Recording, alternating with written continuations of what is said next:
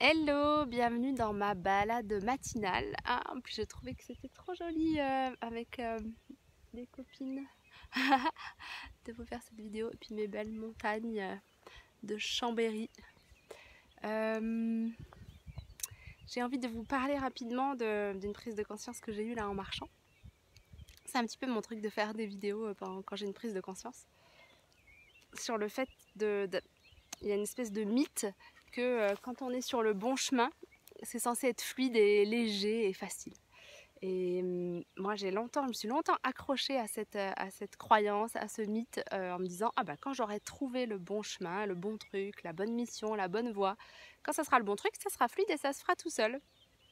Et malheureusement, c'est pas toujours fluide. Et ce que j'ai vu et qu'un un enseignant euh, spirituel que j'ai a éclairé, c'est que parfois ce qui rend les choses pas fluides, ce sont mes propres vibrations de peur, de doute, de- d'incertitude, qui font qu'énergétiquement j'envoie dans la trame euh, toute cette vibration euh, de, doute, et que comme tout est énergie, et ben ça crée dans mon décor les conséquences de cette vibration doute. Donc si j'organise quelque chose et puis que ça se met pas en place facilement, soit je peux me dire ah bah c'est peut-être que ça doit pas être quoi. Soit ça veut juste m'inviter à regarder tiens est-ce qu'il y a des espaces en moi qui, qui doutent, qui ont peur et qui n'a pas d'espace de doute et de peur. hein. Si vous n'en avez pas, génial. Et, et que, et que c'est ces espaces-là qui créent ces résistances dans, dans la matière. Moi je le vois là depuis euh, un mois. J'ai signé un accompagnement euh, pour pouvoir vraiment me, booster et me soutenir surtout euh, dans le passage à l'action, dans aller vers tout ce qui m'inspire, tout ce qui m'appelle depuis des années et que, et que je reporte euh, sans arrêt, où je me dis ah, un jour, un jour, un jour. Et là, je rencontre les phases de résistance et de non-fluidité les plus intenses que j'ai jamais rencontrées. Euh, notamment euh, hier, et je vais vous faire une vidéo là-dessus euh, sur la création de cette vidéo avec Jessica, où à plein de moments de la journée, ça a bloqué, ça a résisté. Et j'avais cette petite voix qui venait en me disant Ah, mais c'est pas fluide, ça veut dire que tu dois pas le faire. J'étais, je suis allée jusqu'à vouloir annuler le rendez-vous que j'avais déposé, qui était ma, ma balise et mon, mon pilier de motivation. Et en me disant Bah ouais, non, mais là ça résiste trop, c'est que ça se trouve, ça doit pas être, il faut à un moment juste arrêter de lutter.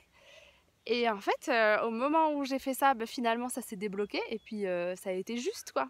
Et j'ai l'impression que plus je me rapproche de mes rêves et plus euh, ça fait remonter ces résistances et cette, et cette, ces accroches, ces aspérités dans le décor que je pourrais interpréter comme ça n'est pas le chemin, alors que en tout cas, je ne sais pas si c'est le chemin ou pas, et le seul moyen de savoir, c'est d'y aller. Et puis si quand j'arrive, c'est une impasse, eh ben, je ferai demi-tour et j'en ressortirai.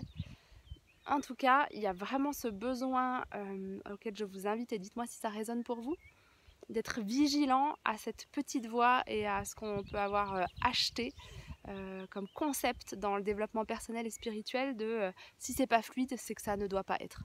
Moi personnellement, pendant des années, j'ai vécu euh, avec ce concept-là et je me suis arrêtée en chemin sur des choses qui m'appellent hyper fort, hyper profondément sur cette base-là. Et hum, c'est un gros gros point de vigilance aujourd'hui. Partagez-moi dans les commentaires et avec plaisir d'échanger sur le sujet. À bientôt